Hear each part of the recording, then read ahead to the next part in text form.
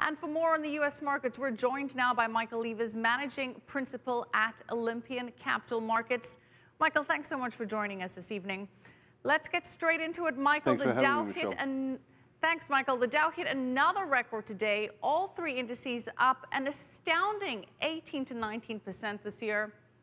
Is this all thanks to the Fed?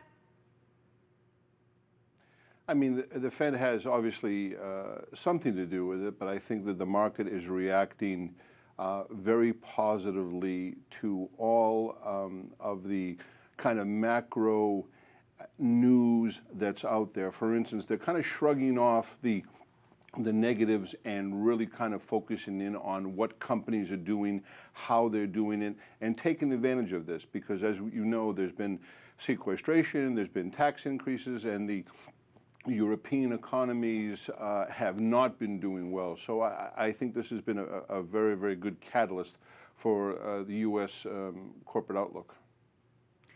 Now, Michael, you mentioned companies, but actually, of the 130 companies in the S&P 500 that have reported earnings so far this year, about 63% have beaten analysts' expectations which is pretty much standard over the past four quarters. 67% of companies have beaten earnings.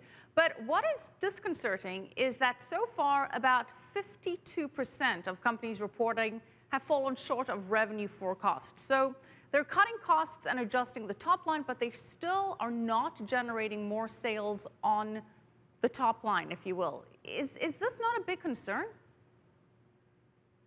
Well, I, I, think that the, the impact of, of, revenue has to be taken sometimes within the context of where they're selling and what they're doing. Obviously, as I just said a few minutes ago, the European economies have, have had an impact on the multinational corporations.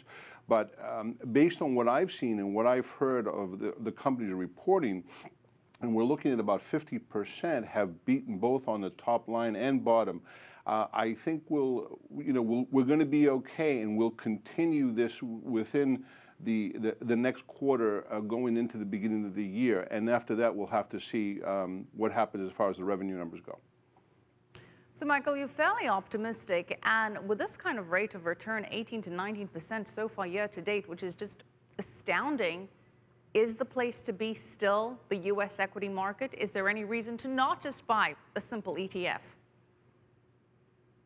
I think the U.S. market is, is just tremendous. Obviously, um, I, I, think the companies, if, if you listen to what's going on here in the United States, um, obviously the economy is improving, uh, corporate profits are improving.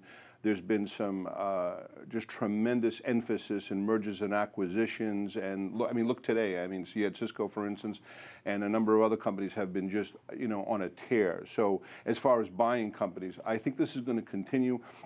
And I think it's a great opportunity. And I think the U.S. has a great advantage in being able to take part in this and being the leader and going forward and um, not really looking at what the rest of the world is doing, but just taking the lead and continuing this upward move. And Michael, I want to focus a little bit about the bank stocks because so far this quarter, financials have done remarkably well. But there are some ominous clouds on the horizon, especially with regards to impending Washington regulation and potentially some tighter monetary policy down the line from the Fed. How much of an impact is this going to have going forward?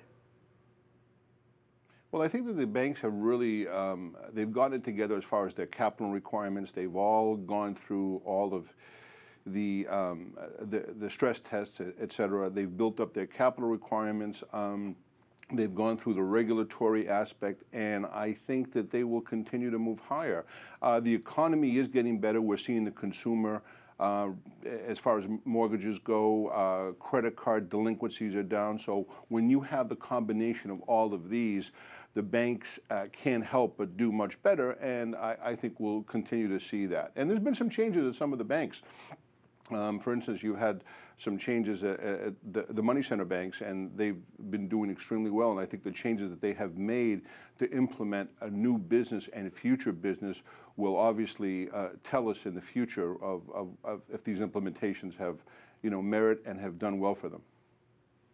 All right, we will definitely be keeping an eye on that, as I'm sure you will too. Michael Levas, thank you so much, Managing Principal at Olympian Capital Markets.